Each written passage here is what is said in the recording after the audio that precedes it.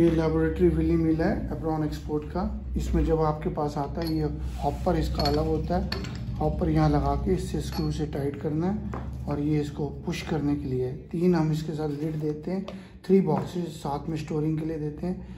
इसमें three mash का system है। एक आ, ये जो है coarse focusing coarse fine and very fine medium and fine sieves हैं स्टेनलेस स्टील की सीव्स हैं। सबसे पहले हमें इसको यूज़ करने के लिए हमने यहाँ से इसको पुश करना है, यहाँ तक, और इसके अंदर एक, और इसको टाइट कर देना है यहाँ से। ये टाइट करने के बाद यहाँ से एडजस्टमेंट ऑलरेडी करी हुई है। ये जो भी चीज़ इसमें सैंपल डलेगा यहाँ से, इसको मूव करने के अंदर ये ग्राइंडिंग करता जाता है, और नीचे इसके अंदर से हमें कलेक्शन करने के लिए इसका कंटेनर लगाना है, ताकि जो सैंपल है कलेक्ट हो जाए। इसके अंदर सीव में से जो क्रॉस हो सकता है, वही इसमें से जाएगा।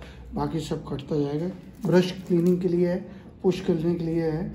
और ये हमने एक्सपेयर दिया हुआ है। थ्री बॉक्सेस हैं। ये सारा सेटअप सिंगल आता है। प्लीज़ हमारे को आप ईमेल लिखिए। लेबॉर्ट्री यूज़ के लिए मेडिसिन के लिए टेस्टिंग के लिए और बहुत से यूज़ में काम आता है लेबॉर्ट्री में। Thank you very much